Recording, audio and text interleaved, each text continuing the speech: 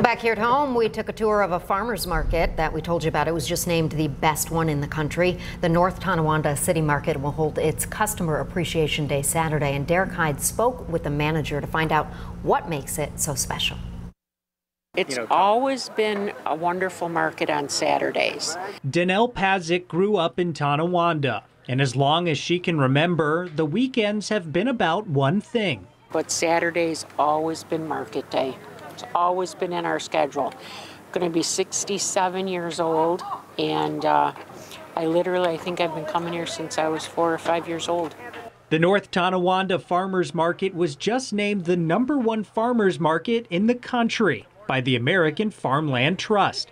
Pazik tells me the secret to being number one is the price. Look at the size heads of these cabbage for two bucks. You can't beat them. I took a trip to the market on Robinson Street Thursday to ask vendors what makes their work the best in the nation. Because we work very hard at it. What we do, very uh, friendly to customers, uh, good produce. It's got such a variety.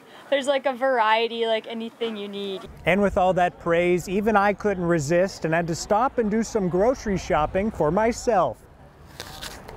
The NT Market has something for everyone, from fresh produce to bottles of wine.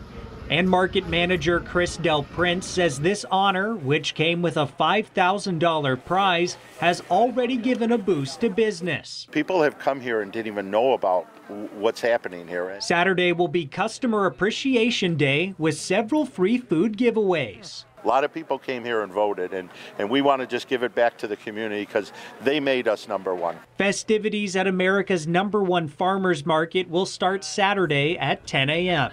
We're a voice for North Tonawanda, Derek Hyde, 7 News.